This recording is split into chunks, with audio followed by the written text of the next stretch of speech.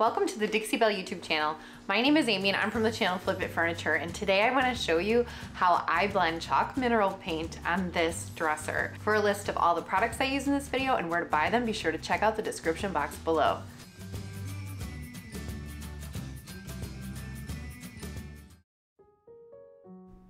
I have already primed the piece using Dixie Belle's Boss in clear. I did two coats of that so I wouldn't have any tannins or bleed through. The first color I'm using in this blend is aubergine. Whenever I'm using chalk mineral paint, I have my paintbrush in one hand and I have the water mister in the other hand. I spritz my brush and I mist on the piece and then I don't overload my brush. I put a tiny amount on because you can always come back and add more to your brush. I don't want to have a messy finish, so I'm making sure that there's enough to cover my space, but not too much that it's dripping or globbing. This water mister is the key to a smooth, almost brushstroke free finish. For me, the water mister is just as important as the brush. It allows me to get so much more out of the eight ounces of paint, but it also gives me that fine, smooth finish.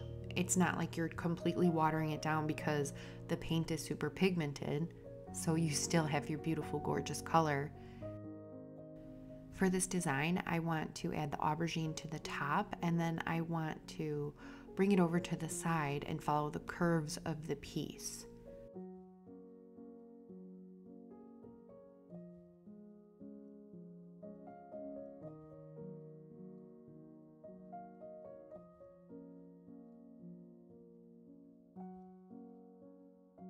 My second color for this blend is going to be muscadine wine.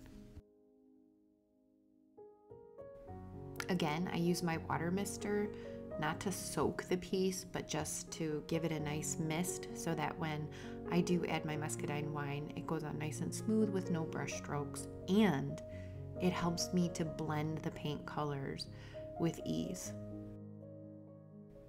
I'm using four colors in total for this piece, and they will blend along this beautiful, nice panel at the bottom at this point, I'm not really worrying about blending the bottom yet. I'm still going to add my muscadine wine to the center of the piece. I drew a line with the muscadine wine across the piece so it would act as a guide so that I would know that the second half of that piece is where I want to add my next two colors.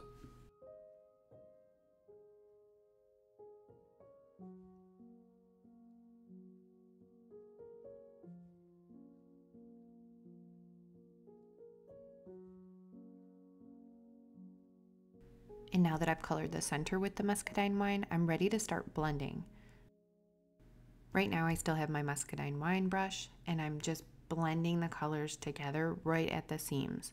Now I'm gonna grab my aubergine brush because I see there that I don't like the harsh line and I'm gonna start bringing the aubergine down. Again, I didn't um, I didn't dip my aubergine brush at this point. I just gave it a little spray with water Now I go back and forth between my brushes until I like the way that it looks. And aubergine and muscadine wine are two colors that blend really nice. I mean, it, it's so easy. So now I start to blend out that bottom and as you can see, the colors just, the more you pull them over to each other, the easier that they blend. Now I'm ready to move over into my next color and that's gonna be Colonial Mustard. I'm not using too much of the colonial mustard. I'm actually using it as a base. I'm gonna mix the muscadine wine with the colonial mustard to make this really warm orange color. And then I'm gonna use another color at the bottom and mix it with that. So you won't see a lot of the mustard. So here with a new brush that I'm using only the colonial mustard with, I'm just filling in that blank space this is actually my first coat. I'm getting really great coverage and I probably could have got away with only one coat. Um, but I do end up adding another coat after this just to make sure that I have full coverage. And I follow that same process with the second coat. But I like to get my blend as good as possible on the first coat so that it's easier on my second. I consider the first coat like a practice coat, and then I can perfect the blend in the second coat. But for this particular project, this first coat is just going on so nice. and here's where I take the muscadine wine brush and I start blending to make that warm orange. I'm bringing the muscadine wine right into the colonial mustard, creating a whole new color.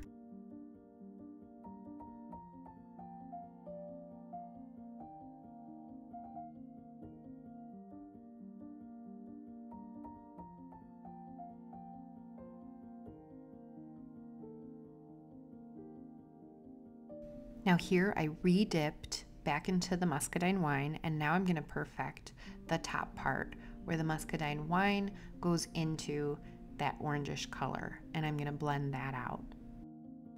And when I'm blending it out, I'm just kind of going back and forth, um, up and down, side to side, just to get the colors to mix until they look like they're fading into one another and I start using a dry rag to wipe my brush so that I don't muddy the colors. This can happen when you're blending so many colors on the brush, they start blending on the brush. So then when you put the paint on your piece, you know, you don't really know what color you're going to end up with, and it, it gets a little muddy, like brownish. So you have to be careful that your brushes are clean throughout the process.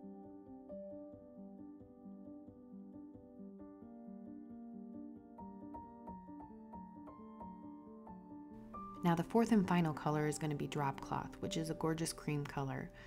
I'm going to use the drop cloth on the little foot and then I am going to pull the drop cloth into the colonial mustard.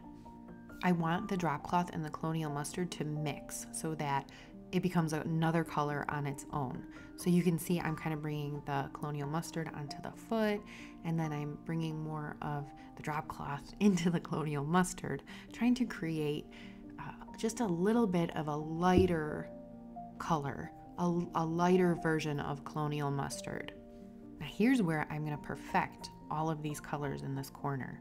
I'm just taking a tiny bit, I even wiped it off, of the muscadine wine. I didn't dip my brush in the muscadine wine. I'm just using what's left on the brush and I wiped most of it just to gently fade the colors together. Now for the last part, I'm taking a dry brush. This has no paint, it's a fresh dry brush, and I'm going across this little corner to make sure everything is blended. I'm not trying to mix the colors up, I'm just getting rid of any brush strokes. Um, I'm, I'm actually using it like it's a feather. I'm feathering it across the section. Here's what it looked like when it was all finished. I added some copper and bronze gilding wax to all the raised details, to the hardware and I sealed the piece with Dixie Belle's clear coat in satin. I did refinish the top with the Dixie Belle's No Pain Gel Stain in Golden Ash. And then the sides are done in muscadine wine. And there it is, a beautiful blend.